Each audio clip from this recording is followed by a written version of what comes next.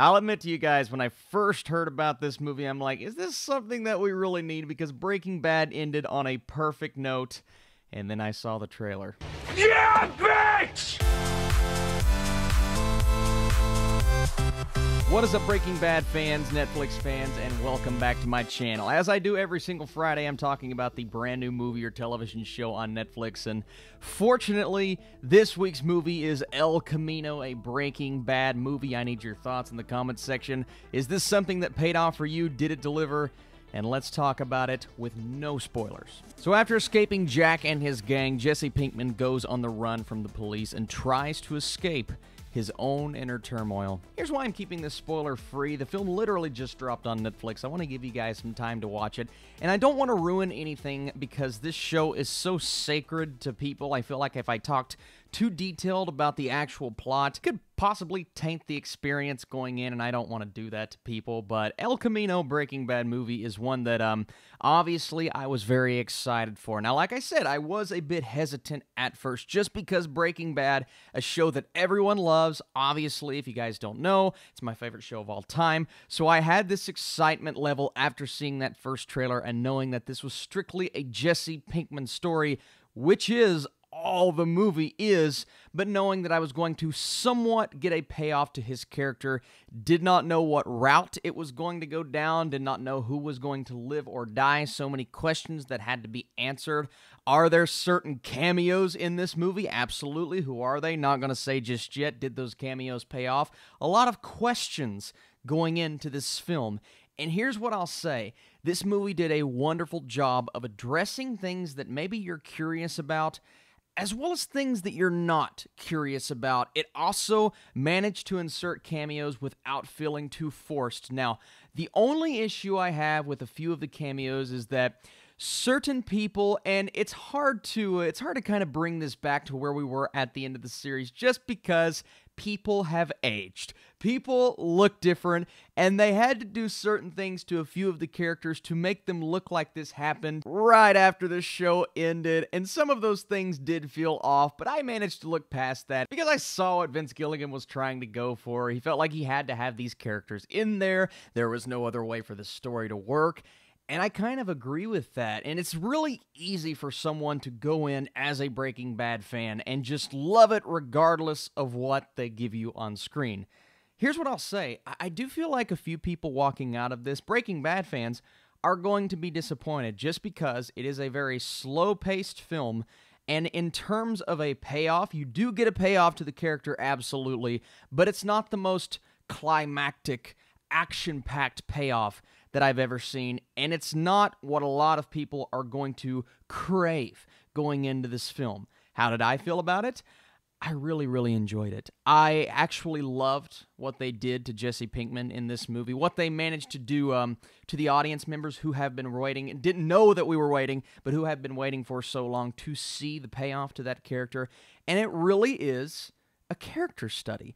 It almost, in a way, feels like a modern Western. He is on the run, he is trying to escape, trying to flee after the events of the finale, and he's kind of closing off certain bridges in the process, putting exclamation points on relationships on his way to what he feels like should be his redemption. And that's what it is. It's an epilogue to Breaking Bad, focusing on the redemption of a character that a lot of people love, some people's favorite character in the entire series, the only soul from the series that was really hanging in the balance that we did not know necessarily what happened to that particular character. The majority of the characters managed to get either an emotional payoff, some sort of payoff for their storyline, and even if we don't know what happened to them, we could assume and feel pretty good about it, right?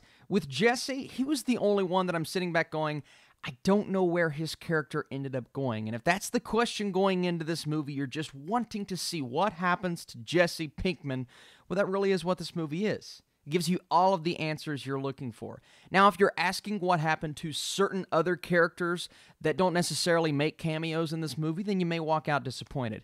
If you want to see certain characters kind of um, be prominent in this film and have the light shown on them just as much as it's shown on Jesse, then I don't know if you're going to love it.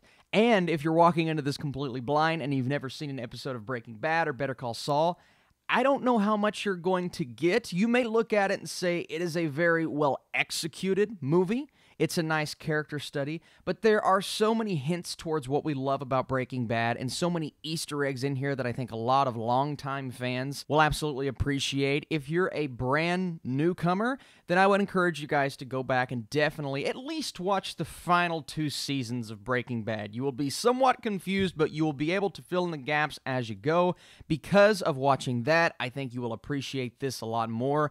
And what this movie does is it continues to flash back in time, flash forward in time, and it does that multiple times throughout the movie, and it leaves visual and audible cues of where we are in time when certain characters are talking. You expect that from Vince Gilligan, who is constantly bringing you just. Um, really well executed material. He does that here. It works. I was never confused. I was never wondering where the story was going next. It was a very straightforward story. Some would say the pacing was a bit off. Some would say it's too slow for them. And listen, I understand that this is not going to be a movie for everyone even hardcore Breaking Bad fans are going to be disappointed because it's all really according on what you're going in here for. I just wanted to see a resolution to Jesse's storyline, and that's exactly what I got. And I just love living in this world. I love the Breaking Bad universe at this point. What I've seen from Better Call Saul, I definitely need to catch up.